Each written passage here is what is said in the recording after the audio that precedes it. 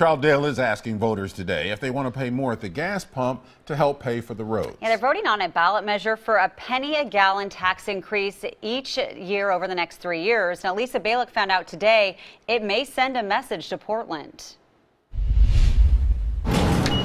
Filling up the tank in Troutdale could cost a penny more per gallon next year if voters here approve the ballot measure. It's a penny increase each of the next three years. City leaders tell me it will raise $100,000 a year to pay for road maintenance and construction.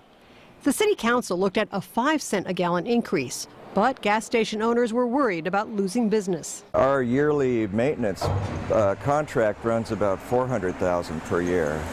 So we're still short right? We're not going to get the amount that we need to maintain all our roads, but $300,000 a year is what we agreed to and what the gas station owners uh, thought was a reasonable compromise. The city tax would be added to the federal, state, and county gas taxes drivers here already pay, just over 41 cents a gallon. Troutdale residents are divided over adding on a local tax. It's not going to raise that much money, but I'm hoping it's going to be enough to provide for the safe and good roads that we all expect. Even for a penny. What do you think they should do then to fund to fix the roads? A tithe is enough, 10% of income. We've given away so much money to Metro for light rail and other things that I think gas taxes in this city is asking a lot. 15 other Oregon cities have a local gas tax ranging from 1 to 5 cents a gallon.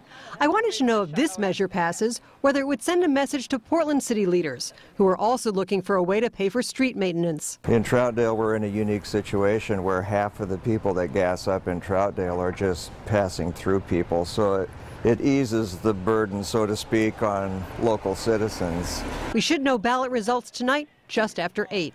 In Troutdale, Lisa Balick, KOIN 6 News.